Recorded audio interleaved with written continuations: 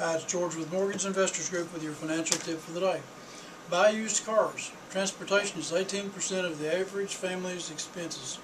Buy cars that are at least a year old and that you can pay for in three years if you have to finance it. Plan on driving your new car for twice as long as you finance it if you can. And that's your tip for the day.